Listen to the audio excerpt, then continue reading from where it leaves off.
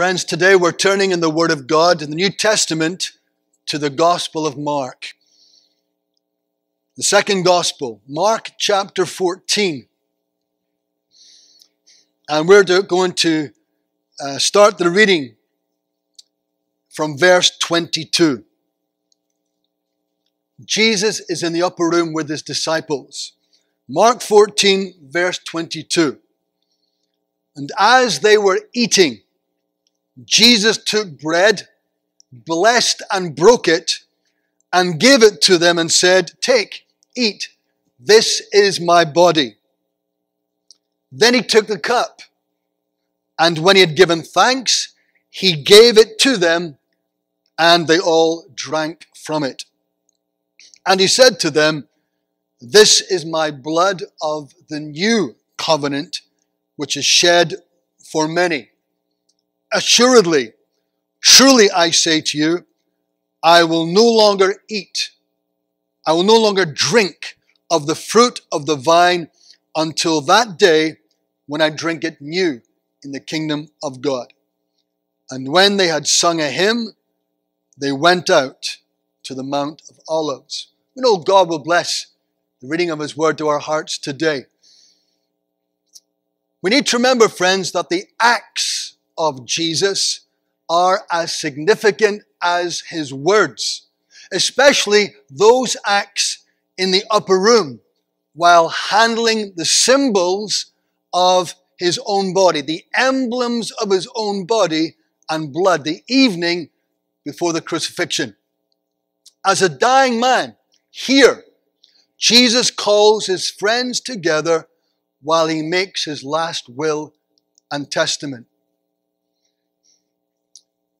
To give a, a, uh, a title to this today, thinking about it, simply this meaningful symbols.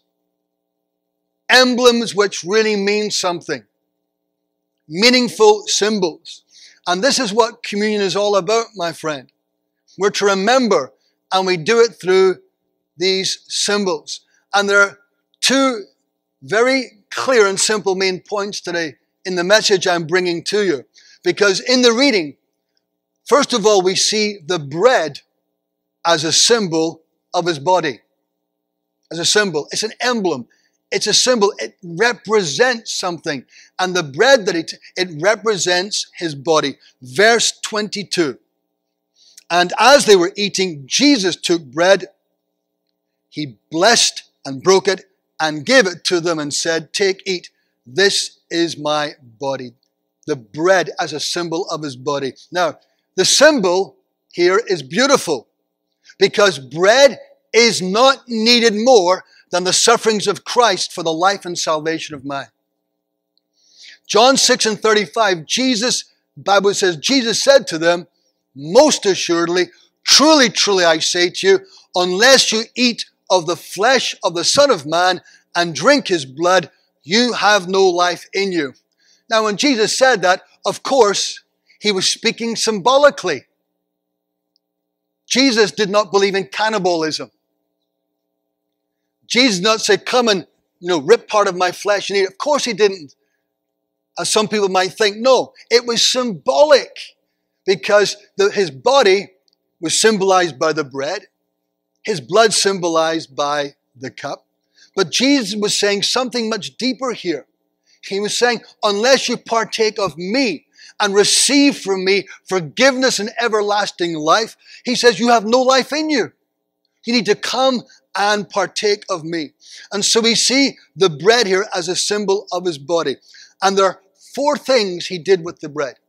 Notice this. First of all, it says in verse 22, he took it. Notice that. He took it. We need to remember, friends, that this was Jesus' own voluntary act. He took upon himself, as the Bible says in Romans 8, verse 3, he took upon himself the likeness of human flesh. It does not say he took upon sinful flesh, he took upon the likeness of sinful flesh. And in taking upon himself a visible, physical body, Jesus was taking that which was to be for the life of the world. And this he did, as we know, of course, at his incarnation, when God became flesh and lived amongst us. This was a humbling but God glorifying act. Think of it. The God of all glory. And he comes and is born of a woman. A woman he'd created and born as a baby. He took the bread. John 6 and 51. Jesus had been speaking to the Jews and the, and the religious leaders standing there. And he was speaking to them. And they were saying, Oh, listen, we don't need to talk to you. We have Moses, his law. In fact, we've got Abraham as our father and Moses, he gave us the law. What else do we need? And we've got all this. And besides that, in the wilderness, Moses and, uh, and God took care of us and we're fine. And they boasted about how that they were descended from Abraham. They had Moses to teach them, and therefore they had no one else to teach them. And Jesus picked up on this in John 6 and 51, and he said, Listen, I am the living bread which came down from heaven. They've been boasting about that God fed the people of Israel in the wilderness in the desert bread supernaturally from heaven. And they thought this is wonderful. They thought it's because they were so special. And Jesus says, Listen, he says, I am the living bread which came down from heaven. Again, he's speaking symbolically. He goes on to say, and if anyone eats of this bread, speaking of himself, if anyone eats of this bread, that person will live forever. And the bread that I shall give is my flesh, which I shall give for the life of the whole world. In fact, just before this, Jesus said, yeah, the, the bread you're speaking about that you were fed by in the wilderness, the manna from heaven, all those that ate it, by the way, P.S., they're all dead. They're all dead. But I'm the living bread which comes, comes down from heaven, and whoever eats of me, you shall have everlasting life. There's a big difference. And so, first of all, in the bread is a symbol of his body, we see then that Jesus took it at the Last Supper. But not only did Jesus take the bread, but secondly, he took it and then he blessed it. Because in the taking of that bread, he sanctified and made it holy. That means he set it apart. It doesn't mean it became something else. It doesn't mean suddenly it's a, a, special supernatural piece of bread. No. What it means is, is that he set it apart because they're going to partake of it because it symbolized his body. That's what it was important. It symbolized, it was an emblem, a representation of his body. And that's why he blessed it, because this was something important that they needed to know. It wasn't just a piece of bread they were having, it's what it represented, which was so important.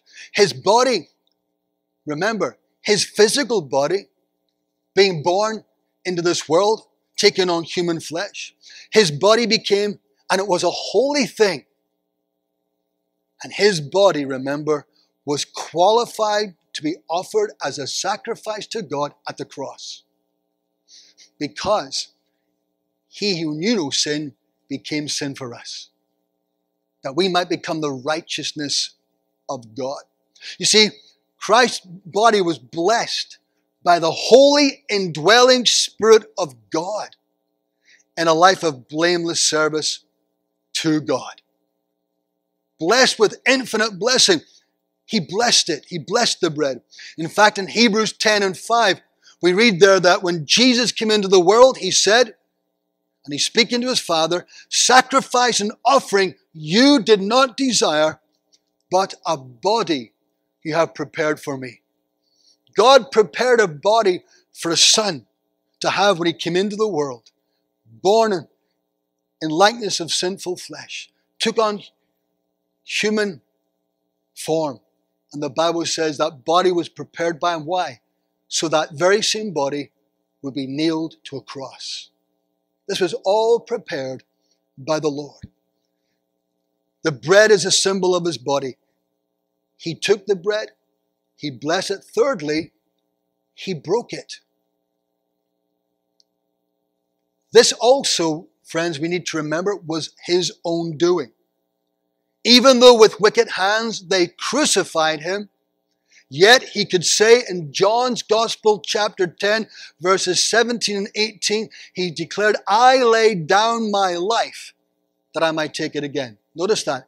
I lay down my life that I may take it again. No one takes my life from me, but I lay it down of myself. I have power to lay it down, and I have power to take it again. This command I've received from my Father. Some people may say, well, hold on a minute. You don't need any power, you know, to, to lay your life down, to get killed. You don't need any power. When you are the eternal Son of God, and when you are the giver of eternal life, and that all creation hangs on your word, yes, that is an amazing thing. You need power to let down. Jesus had power to let down because no one could take his life from him. He was Almighty God and still is. And the Bible says he broke it. 1 Corinthians 11 and 24, Paul in the same theme says there and, and records the words of Jesus. It was revealed to Paul. Christ said, This is my body which is broken for you. Which is broken, not just broken, but broken for you. So, what does that mean? What's important about that? Because this teaching of substitution is clearly taught here. What do I mean? Jesus took your place and my place on the cross. If Jesus simply died on the cross and that was it, then all he was was a martyr to whatever he was following and to whatever he uh, spoke about. But the fact was, we see perfect substitution that he was God's perfect lamb who died in our place upon that cross and gave his life a ransom for many. And so we see that he gave his life. The body and the bread, Jesus said, This is my body which is broken for you. He was saying it to his disciples. He says to all those who trust in him today, and he says to all those, he says, Listen, I died for you. I died in your place. You should have died, but I died in place of you because I love you and I want to see your sins forgiven and see you have received the gift of eternal life. You see, friends, the breaking of his body was by his own willing consent. This gives additional virtue to his sacrifice. All that happened to God's Son on the cross was allowed to happen by divine power. Jesus let them do those things to him. Remember in the Garden of Gethsemane when some of the disciples were there and Peter was there and remember the, the troops came to arrest Jesus and Peter stepped forward. He took a sword and he sliced off the high priest's servant ear, his right ear. His name was Malchus. And Jesus picked up the ear and put it on his head and healed him. Jesus healed him at that point. And Jesus said, Peter, put your sword up, put your sword back into its scabbard. He said, Do you not realize? He says, At this very moment, I could call 12 legions of angels and they could come and set me free. In fact, here's a better thing Jesus, in fact, didn't even need 12 legions of angels. All he had to do was speak the word, and the enemies could have been wiped out in a second. But Jesus allowed all these things to take place. Why? Because of his love for you and for me. Because he wouldn't let anything stop him from going to the cross, because this was the only means that you and I could be saved by his death on the cross. And so Jesus was not going to let anything get in the way. And so he allowed himself to be treated in such a way. And he went to the cross willingly. And so the, the, the bread is a token, a symbol of his body. And he said, This is my body which is broken for you. That's why the prophet Isaiah writes in Isaiah 53, verses 4 and 5. And he's writing as if this has already happened. It's prophetic, but it's almost as if this Messiah had already died. And this is how Isaiah writes it. Surely he has borne our griefs and carried our sorrows. Yet we esteemed him That means we reckoned him stricken, smitten by God and afflicted. He said we esteemed him and reckoned him struck down by God and afflicted. What Isaiah was saying, we reckon, we thought, well, obviously he deserves this from God. He's being punished by God. But then Isaiah says these words immediately. But he was wounded for our transgressions. He was bruised for our iniquities. In the Hebrew, it's he was pierced through for our transgressions. He was crushed for our iniquities. And he did that because he loved us and he cared for us. The bread is a symbol of his body. He took the bread, he blessed it, he broke it, and fourthly, what did he do then? He gave it. Notice that. Verse 22. He gave it to the disciples. You see, in giving the broken bread to his believing disciples, Jesus therefore indicated that the imparting of the saving virtue of his broken body, it's in his own hands. It's all in his own hands, friends. Nothing was taken from him. It was all in his hands. And he freely gave it to them. Notice, the Bible says in Galatians 1 and 4 that Jesus gave himself for our sins. 1 Timothy 2, 5 and 6, Christ Jesus who gave himself a ransom for all. Titus 2, 13 and 14, our great God and Savior Jesus Christ who gave himself for us. No one else delivered Jesus up. He did it himself. The apostle Paul was able to write in his letter to the Galatians in chapter 2 verse 20, he spoke of Jesus who loved me and gave himself for me. And again, Jesus said in John chapter 10, this time verses 27 and 28, My sheep hear my voice, and I know them, and they follow me, and I give them eternal life. No one else does. I give them eternal life. You find scripture in this point. Apostle Peter, Peter was standing and he was preaching in Acts 4 and 12. I mean, preaching about Jesus. They told him, Stop preaching in that name. He said, Listen, nor is there salvation in any other, because there's no other name under heaven given among men by which we must be saved. There's only one name, there's only one way, there's only one Savior, and His name is Jesus. Hallelujah. And thank God He's still the same yesterday, today, and forever. And so we see the bread as a symbol of His body. He took it, He blessed it, He broke it, He gave it. But then, secondly, then we see the cup as a symbol of His blood. Look at verse 23. Then Jesus took the cup, and when he had given thanks, he gave it to them and they all drank from it. The cup as a symbol of his blood. We need to remember, friends, all the way back from the Old Testament, Leviticus 17, verse 11, the Bible states, listen carefully to this, the life of the flesh is in the blood. You need to remember that. If it was possible, if you were to take a body, I'm not uh, asking you to do this, take a human body and drain all the blood out of it, that human will cease to live. Because the, the life of the flesh is in the blood. The flesh needs the blood to survive. And it goes on to say, it is the blood that makes atonement for the soul. If Jesus had simply died on the cross, there was no shedding of his blood, you and I who put our trust in Jesus, we'd be going to a lost eternity. The cross would have been an absolute waste of time. But the life of the flesh is in the blood, and it's the blood that makes atonement for the soul. Again, in our prophetic chapter of Isaiah 53, we read in verse 12 of Jesus, the Messiah, He poured out His soul unto death and he was numbered with the transgressors, and he bore the sin of many, and he made intercession for the transgressors. Notice that.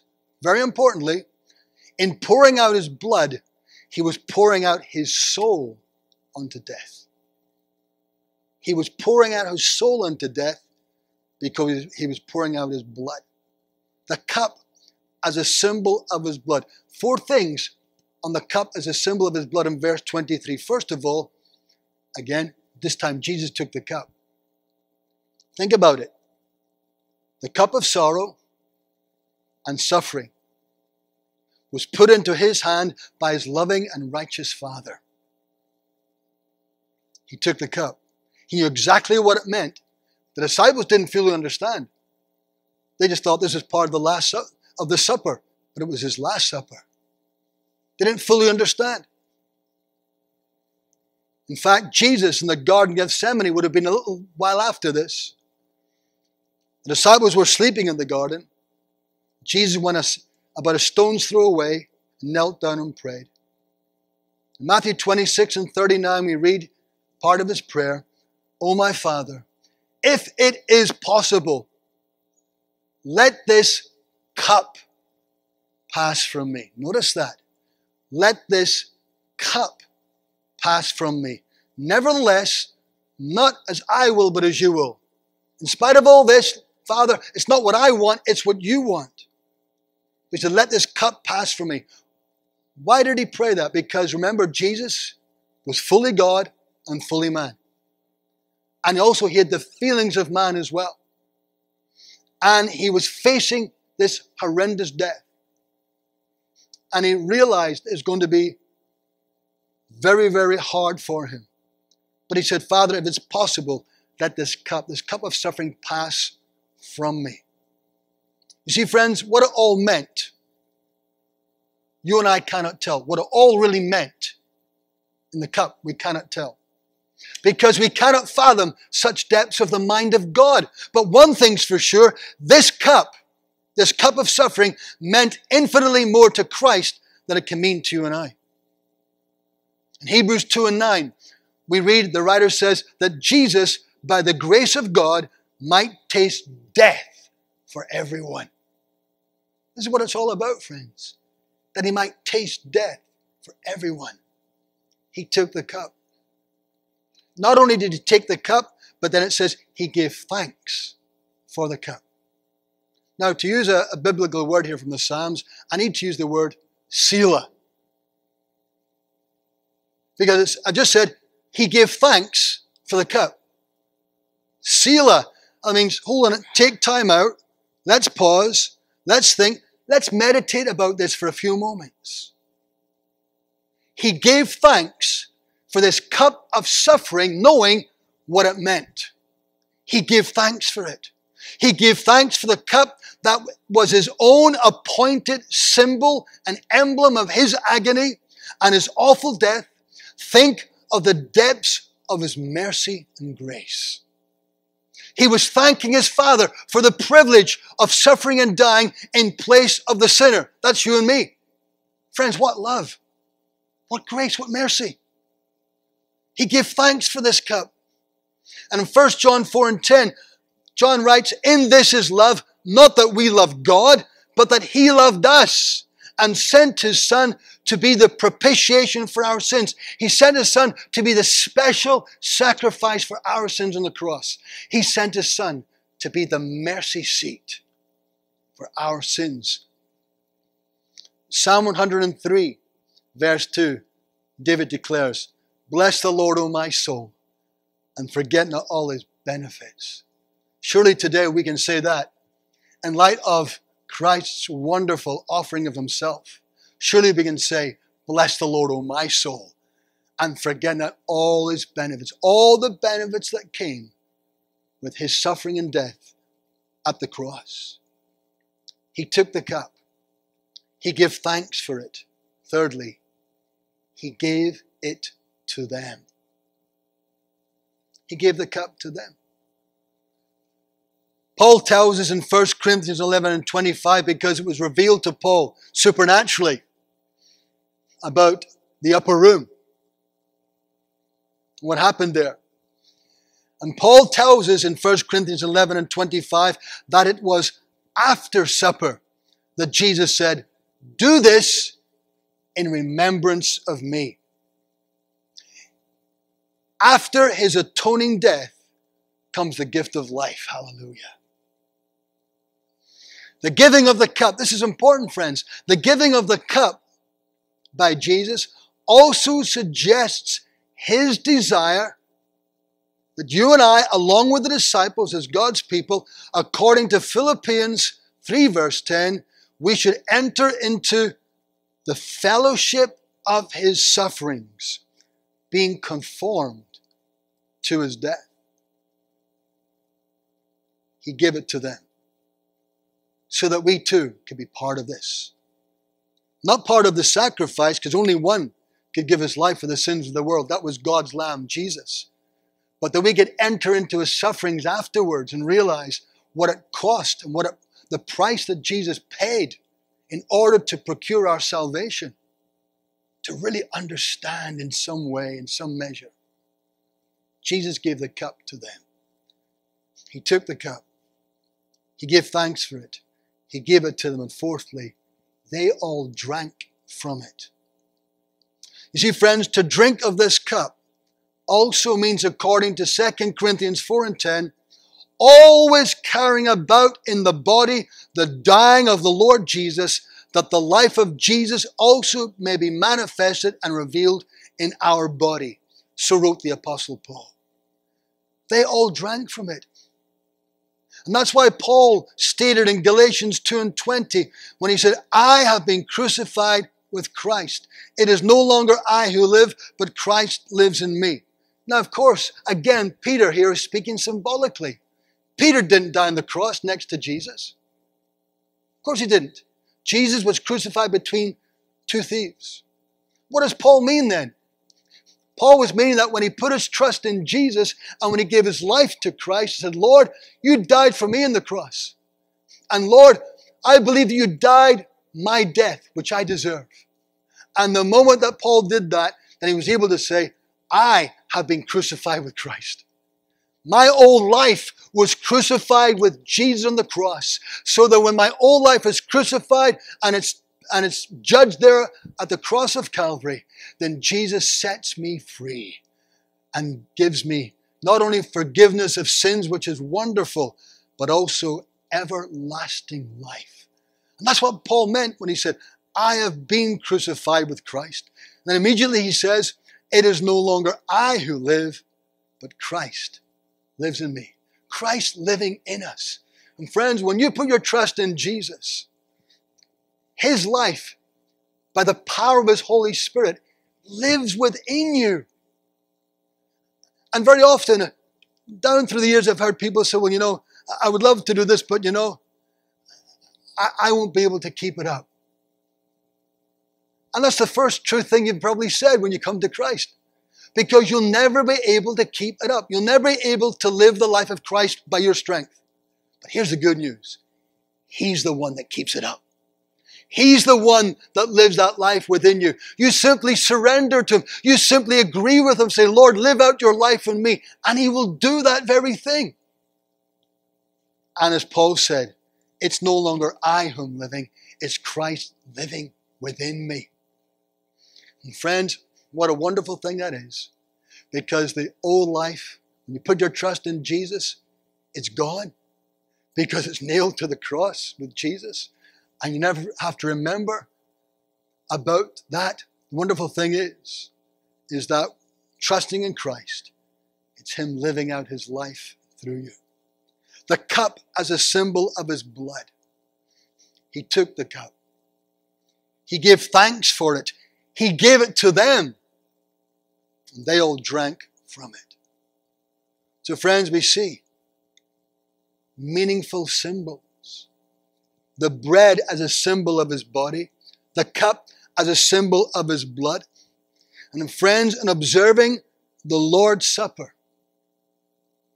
this morning, as God's people, we're not called upon to remember him as a teacher, as a rabbi, nor are we called upon to remember him merely as an example, as many churches do in Christendom. No, no. We are called upon to remember Jesus as our sacrifice, to proclaim the Lord's death till he come. Notice that. Notice how the word of God is so clear here. Until he comes again, we're to proclaim the Lord's death. Why? Because only through his death that our sins can be washed away by the blood that he shed and we can receive everlasting life. It's only through his death. No other means. There's only one way and by one means. It's through Jesus. Verse 24 of our reading, Jesus said, Take, eat, this is my body, which is broken for you. Luke 22, verse 17. Then Jesus took the cup and gave thanks and said, Take this and divide it among yourselves. Notice that. Took the cup, gave thanks, and said, Take this, take this cup and divide it among yourselves. Each of you drink from it. What was that meaning?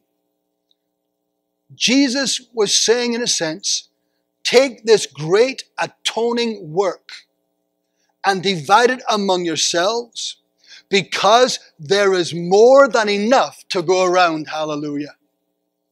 There's more than enough. It's not limited. Oh, we've run out. Let me tell you, friend, today, Jesus will never run out of forgiveness before he comes. He will never run out of grace. He will never run out, as it were, symbolically of the blood that he shed to wash away your sins. He'll never run out of that. There'll always be plenty, plenty for plenty of people to call upon him to be saved.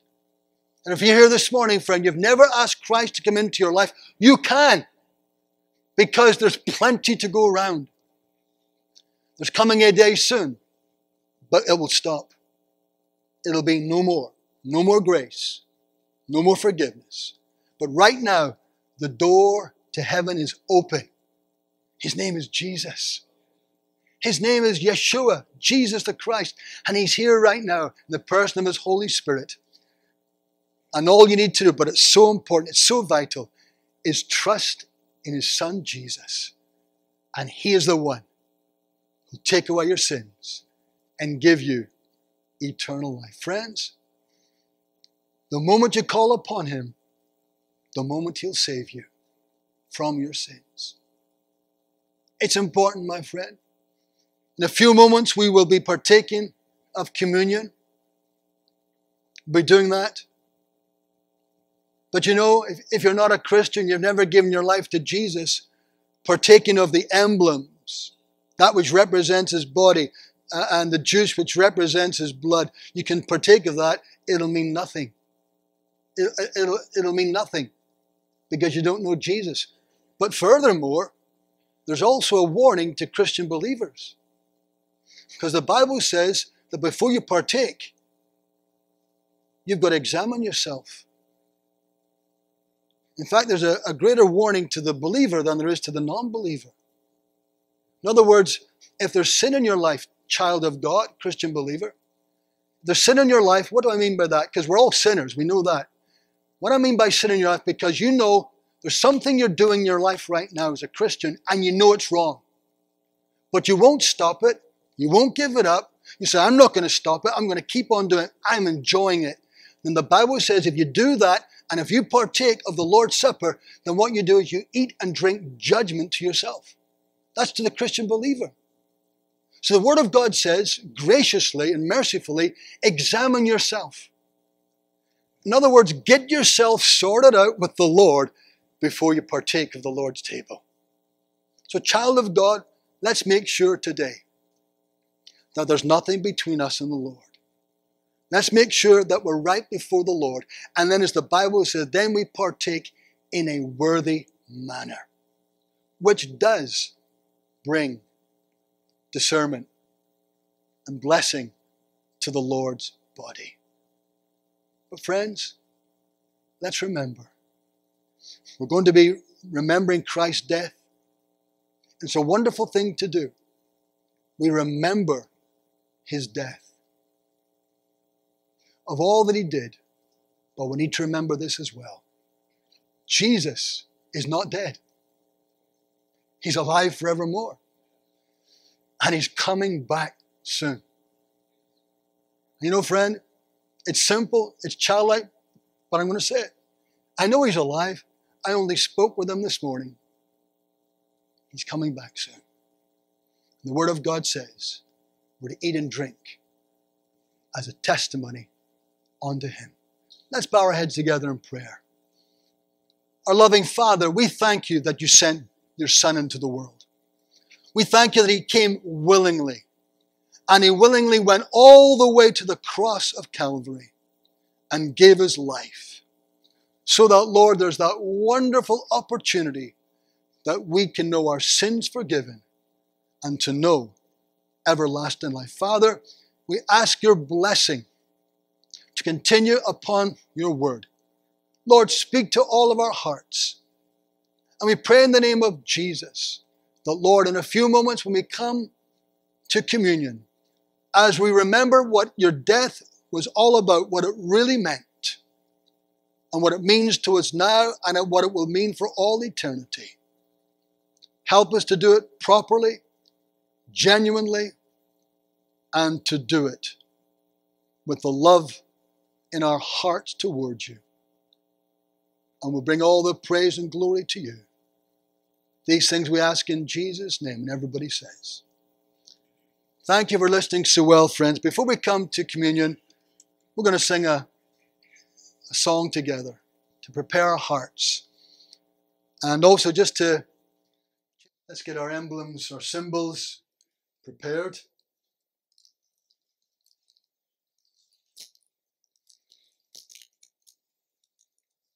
Just peel off the top film.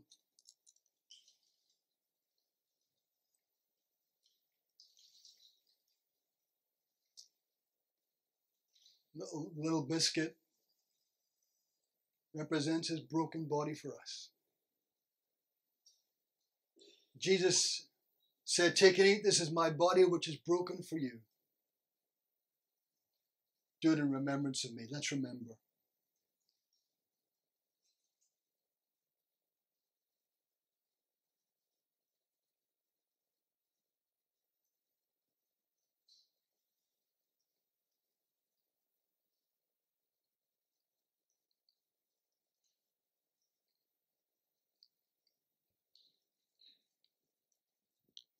The same way also Jesus took the cup after supper, saying, This cup is the new covenant in my blood. This do as often as you drink it in remembrance of me. Let's remember.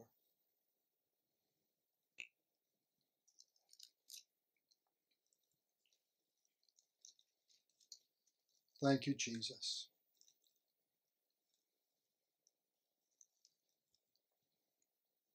The Bible states to the, the believers, to the church, for as often as you eat this bread and drink this cup, you proclaim the Lord's death till he comes. Of course, we only have communion until he comes. When Jesus comes again, we'll have the real thing. We'll have to remember him through symbols. We'll have the real Savior. And we're looking forward to that day. Praise the Lord.